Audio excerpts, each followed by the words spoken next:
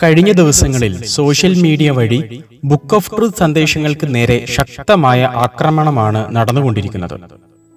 പ്രത്യേകിച്ച് കത്തോലിക്ക സഭയിലെ പുരോഹിതരാണ് ഇത്തരം ആക്രമണങ്ങൾക്ക് മുന്നിൽ നിൽക്കുന്നത്. ബുക്ക് ഓഫ് ട്രൂത്ത് സന്ദേശങ്ങൾ ഇറങ്ങി പത്തു വർഷങ്ങൾ കഴിഞ്ഞിട്ടും ഈ സ്വർഗീയ സന്ദേശങ്ങൾ ആക്രമിക്കപ്പെടുന്നുണ്ടെങ്കിൽ സാത്താൻ ഈ സന്ദേശങ്ങളെ അതിയായി ഭയക്കുന്നു എന്ന് വേണം മനസ്സിലാക്കാൻ.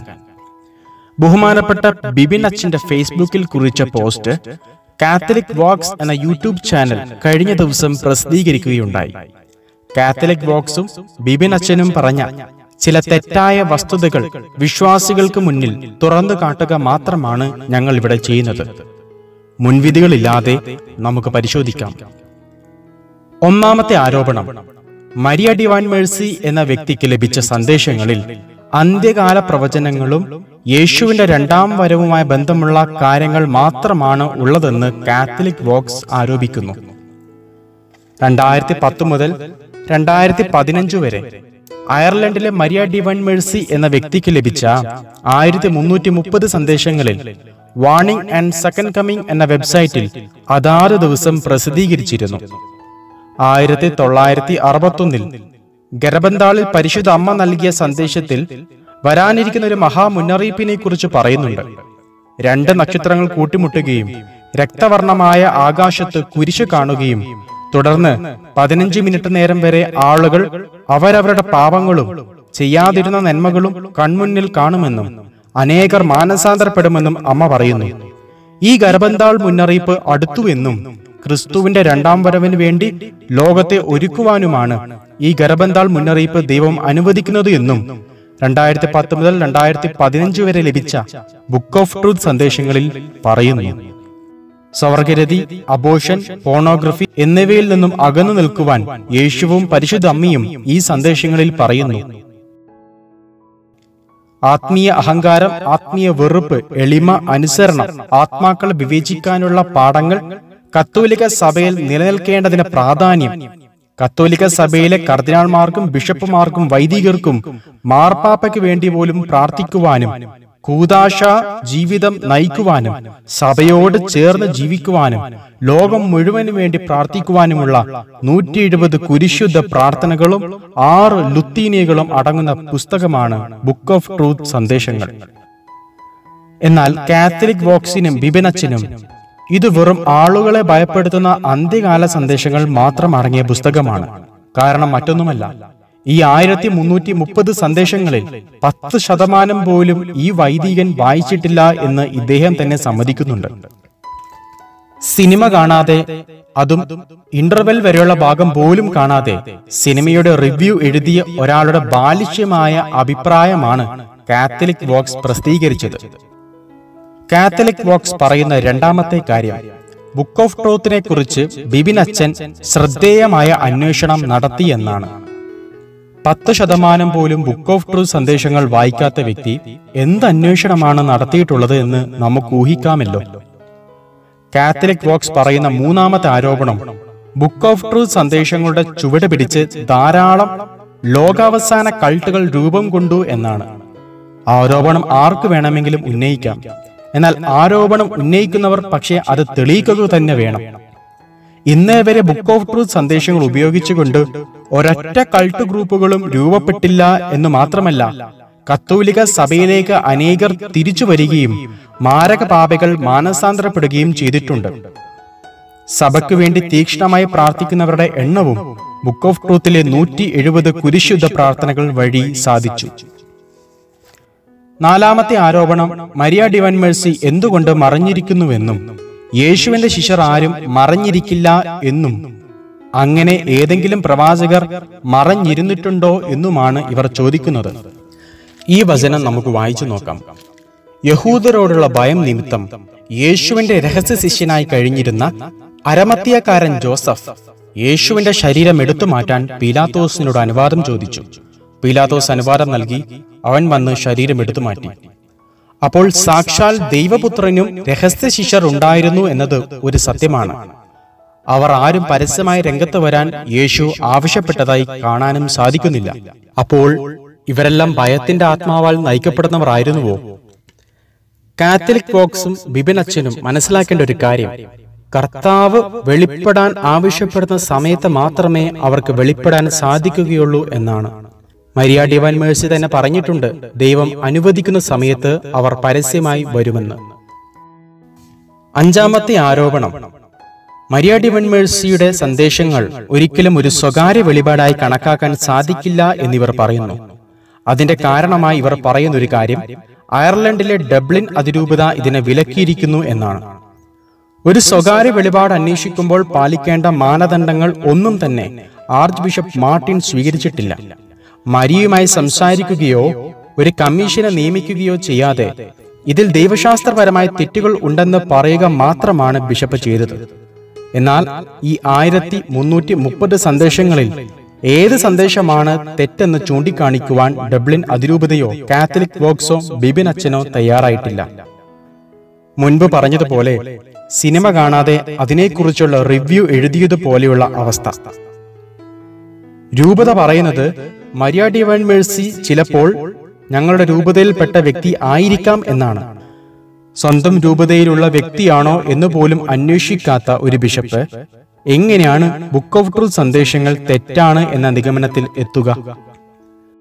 കാത്തലിക് ബോക്സിന്റെ മറ്റൊരു ആരോപണം ഈ സന്ദേശങ്ങൾ മരിയ ഡിവൈൻ മേഴ്സിക്ക് തോന്നിയ ഹാലൂസിനേഷനോ പൈശാദ്യോ സ്വാധീനമോ വഴി ലഭിച്ച സന്ദേശങ്ങളാവാം എന്നാണ്. രണ്ടായിരത്തി പതിനൊന്നിൽ ബുക്ക് ഓഫ് ട്രൂത്ത് സന്ദേശത്തിൽ പറയുന്നു ബെനഡിക് പതിനാറാമൻ പാപ്പ ഉടൻ സ്ഥാനത്യാഗം ചെയ്യുമെന്ന്. അത് രണ്ടായിരത്തി പതിമൂന്നിൽ നിറവേറുന്നു. വരാനിരിക്കുന്ന പോപ്പ് ജീവിക്കുന്ന വിശുദ്ധനെ പോലെ കാണപ്പെടുമെന്ന് പറയുന്നു. അത് രണ്ടായിരത്തി പതിമൂന്നിൽ നിറവേറുന്നു. ആ പോപ്പിന് കീഴിലുള്ള പ്രവർത്തനങ്ങൾ പ്രകൃതി സംരക്ഷണം പാവങ്ങളെ സഹായിക്കൽ സഭകളുടെ വ്യാജ ഐക്യം എന്നിവയായിരിക്കുമെന്നും ഈ പോപ്പ് വരുന്നതിന് മുൻപേ ബുക്ക് ഓഫ് ട്രൂത്തിൽ പ്രവചിച്ചിട്ടുണ്ട്. രണ്ടായിരത്തി പതിനൊന്നിൽ ബുക്ക് ഓഫ് ട്രൂത്തിൽ പറയുന്നു ഉടൻ യൂറോപ്പിൽ ഭൂചലനം സംഭവിക്കുമെന്ന്. രണ്ടായിരത്തി പതിനൊന്ന് മെയ് മാസം സ്പെയിനിൽ ഭൂചലനത്തിൽ നാശനഷ്ടം സംഭവിക്കുന്നു. മരിയ ഡിവൈൻ മേഴ്സിക്ക് തോന്നിയ വെറും ഹാലൂസിനേഷൻ ആണ് ഇവയെങ്കിൽ ഇത്രയും കൃത്യമായി എങ്ങനെ പ്രവചനങ്ങൾ നിറവേറും? ഇരുപതിലധികം പ്രവചനങ്ങൾ ഇതുവരെ നിറവേറിക്കഴിഞ്ഞു. ഭൂചലനം പോലും കൃത്യമായി പ്രവചിക്കാൻ ഇവർക്ക് എങ്ങനെ സാധിച്ചു? അത് ദൈവിക സന്ദേശം ആയതുകൊണ്ട് തന്നെ. ഇനി ഇത് പൈശാചികമാണ് എന്നാണ് ഇവരുടെ മറ്റൊരു ആരോപണം. പോണോഗ്രഫി സ്വവർഗരതി അബോഷൻ തുടങ്ങിയവ മാരക പാപമാണെന്നും നരകം സ്വർഗം ശുദ്ധീകരണ സ്ഥലം എന്നിവയുണ്ടെന്നും സാത്താന്റെ തന്ത്രങ്ങൾ എന്തൊക്കെയാണെന്നും കൂതാശ ജീവിതം എങ്ങനെ നയിക്കാമെന്നും വിശുദ്ധ ജീവിതം എങ്ങനെ നയിക്കണമെന്നും പറയുന്ന ബുക്ക് ഓഫ് ട്രൂത്ത് സന്ദേശങ്ങൾ എങ്ങനെ പൈശാചികമാകും? പിശാജ് പോലും മാലാഖയുടെ വേഷത്തിൽ വരുമെങ്കിലും ഇന്നേ വരെ മാനസാന്തരപ്പെടാൻ ഏത് പിശാജാണ് ആവശ്യപ്പെട്ടിട്ടുള്ളത്? കരണക്കൊന്ത ചൊല്ലി ജപമാല പ്രാർത്ഥിച്ച് കുർബാന സ്വീകരിച്ച് അതും നാവിൽ മാത്രം സ്വീകരിച്ചുകൊണ്ട് വിശുദ്ധ ജീവിതം നയിക്കാൻ സാത്താൻ പറയുമോ? അങ്ങനെ പറഞ്ഞാൽ സാത്താൻ സാത്താനെതിരെ ഭിന്നിക്കുകയാവും ചെയ്യുക. കാത്തലിക് ബോക്സിന്റെ മറ്റൊരു ആരോപണം മരിയ ഡിവൈൻ മേഴ്സി എന്നത് മേരി കാർബറി എന്ന തട്ടിപ്പുകാരിയാണെന്നും ഈ ബുക്ക് ഓഫ് ട്രൂത്ത് സന്ദേശങ്ങൾ വിറ്റതുവഴി അവർ സാമ്പത്തികമായി വളർന്നു എന്നുമാണ്. ഈ ആരോപണം മേരി കാർബർ തന്നെ തള്ളിപ്പറഞ്ഞതുമാണ്. മരിയ ഡിവൈൻ മേഴ്സി അയർലൻഡുകാരിയാണെന്ന് പറയുന്ന കാത്തലിക് ബോക്സ് തന്നെ മേരി കാർവറി അമേരിക്കയിലാണെന്നും പറയുന്നു. ഇവർക്ക് തന്നെ നിശ്ചയമില്ല ഇവർ ആരാണ് എന്ന്. മേരി കാർബറയാണ് ഈ ബുക്ക് ഓഫ് ട്രൂത്ത് സന്ദേശങ്ങളുടെ പിന്നിലെങ്കിൽ ഇതുവരെ സഭ ഇവർക്കെതിരെ നടപടിയെടുക്കാത്തത് എന്തുകൊണ്ട്? ഇവർ തട്ടിപ്പ് നടത്താൻ ഉപയോഗിച്ചതാണ് ബുക്ക് ഓഫ് ട്രൂത്ത് സന്ദേശങ്ങളെങ്കിൽ ഇരുപതിലധികം പ്രവചനങ്ങൾ കൃത്യമായി എങ്ങനെ നിറവേറി. മേരി കാർബറയാണ് ഇതിന്റെ പിന്നിലെന്ന് കണ്ടെത്തിയപ്പോൾ രണ്ടായിരത്തി പതിനഞ്ചിൽ അവരുടെ സന്ദേശങ്ങൾ അവസാനിച്ചു എന്നും കാത്തലിക് വോക്സ് പറയുന്നു. എന്നാൽ ഇപ്പോഴും മരിയ ഡിവൈൻ മേഴ്സിക്ക് സന്ദേശം ലഭിക്കുന്നുണ്ട് എന്ന കാര്യം ഇവർ അറിഞ്ഞില്ല. ഇവിടെ കാത്തലിക് വോക്സും വിമനച്ചനും സൈക്കോളജിക്കൽ പരമായി ചെയ്ത ഒരു കാര്യമുണ്ട്. ഈ സന്ദേശങ്ങൾ മുഴുവൻ വായിച്ചുകൊണ്ട് വിശകലനം ചെയ്ത് അതിൽ തെറ്റായത് ചൂണ്ടിക്കാട്ടാൻ ക്ഷമ വേണം. എന്നാൽ ബുക്ക് ഓഫ് ട്രൂത്ത് സന്ദേശങ്ങൾ ലഭിച്ച മരിയ ഡിവൈൻ മേഴ്സി എന്ന വ്യക്തി മോശക്കാരിയാണെന്ന് പ്രചരിപ്പിച്ചാൽ ഈ സന്ദേശങ്ങളുടെ പ്രസക്തി അവിടെ തീരുമല്ലോ. ആയിരത്തി മുന്നൂറ്റി മുപ്പത് സന്ദേശങ്ങൾ വായിക്കുകയും വേണ്ട. ബുക്ക് ഓഫ് ട്രൂത്തിൽ മാർപ്പാപ്പയ്ക്കെതിരെ സന്ദേശങ്ങൾ ഉണ്ടെന്നാണല്ലോ ഇവരുടെ ആരോപണം. സഭ അംഗീകരിച്ച ചില സന്ദേശങ്ങൾ നമുക്ക് നോക്കാം. റോമിന് വിശ്വാസം നഷ്ടപ്പെടുകയും അത് എതിർക്രിസ്തുവിന്റെ ഇരിപ്പിടം ആവുകയും ചെയ്യുമെന്ന് പറഞ്ഞത് വത്തിക്കാൻ അംഗീകരിച്ച പതിനാറ് മരിയൻ പ്രത്യക്ഷീകരണങ്ങളിൽ ഒന്നായ ലാസലേറ്റിൽ ആയിരത്തി എണ്ണൂറ്റി നാൽപ്പത്തിയാറിൽ പരിശുദ്ധ കന്യകാമറിയം നൽകിയ സന്ദേശമാണ്. സഭയുടെ തലപ്പത്ത് സാത്താൻ കയറുമെന്നും വിശ്വാസത്യാഗം സഭയുടെ തലപ്പത്ത് നിന്ന് തുടങ്ങുമെന്നും പറഞ്ഞത് ആയിരത്തി തൊള്ളായിരത്തി പതിനേഴിൽ ഫാത്തിമ മാതാവാണ്. കത്തോലിക്ക സഭയുടെ മതബോധന ഗ്രന്ഥം അറുന്നൂറ്റി എഴുപത്തഞ്ചിൽ പറയുന്നു ക്രിസ്തുവിന്റെ രണ്ടാം വരവിന് മുൻപ് സഭ ഒരു അന്തിമ പരീക്ഷയിലൂടെ കടന്നു പോകേണ്ടതുണ്ട്. അത് പല വിശ്വാസികളുടെയും വിശ്വാസത്തെ പിടിച്ചു കുലുക്കും. ഭൂമിയിലുള്ള അവരുടെ തീർത്ഥാടനത്തോടൊത്തു പോകുന്ന പീഡനം തിന്മയുടെ രഹസ്യത്തെ വെളിവാക്കും. മനുഷ്യരുടെ പ്രശ്നങ്ങൾക്ക് പ്രത്യക്ഷമായ ഒരു പരിഹാരമാർഗം അത് മനുഷ്യർക്ക് വാഗ്ദാനം ചെയ്യുന്ന മതപരമായ ഒരു വഞ്ചനയുടെ രൂപത്തിലായിരിക്കും അത്. സത്യത്തെ പരിത്യജിക്കുക എന്ന വില അവർ അതിന് കൊടുക്കേണ്ടി വരും. മതപരമായ വഞ്ചന എതിർ ക്രിസ്തുവിന്റെതായിരിക്കും. വിശ്വാസത്യാഗം നടക്കുമെന്നും എതിർ ക്രിസ്തു സഭയിൽ പ്രവേശിക്കുമെന്നും കത്തോലിക സഭയുടെ മതബോധന ഗ്രന്ഥവും തിരുവചനവും പറയുന്നു. രണ്ട് തസ്ലോനിക്ക രണ്ടാം അധ്യായം മൂന്ന് മുതൽ തിരുവചനങ്ങൾ ഇപ്രകാരം പറയുന്നു. ആരും നിങ്ങളെ ഒരു വിധത്തിലും വഞ്ചിക്കാതിരിക്കട്ടെ. എന്തെന്നാൽ ആ- ആ ദിവസത്തിന് മുൻപ് വിശ്വാസത്യാഗം ഉണ്ടാവുകയും നാശത്തിന്റെ സന്താനമായ അരാജകത്വത്തിന്റെ മനുഷ്യൻ പ്രത്യക്ഷപ്പെടുകയും ചെയ്യേണ്ടിയിരിക്കുന്നു.